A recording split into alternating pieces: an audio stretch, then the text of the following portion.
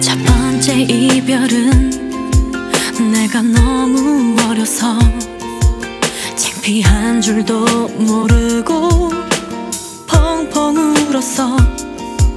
하나 둘 사랑을 겪고 나이도 먹어가면서 더는 울지 말자고 아파하지 말자고. 아무리 결심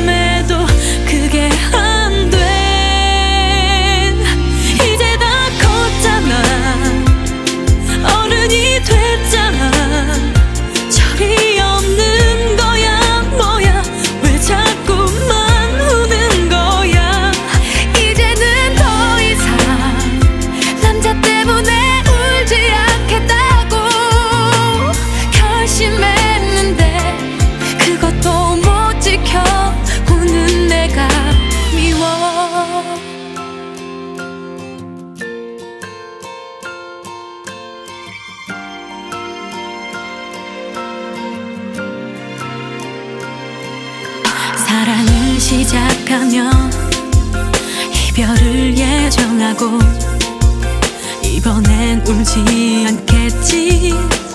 멋진 척해도 어느새 흐르는 눈물 나를 바보로 만들고 더는 울지 마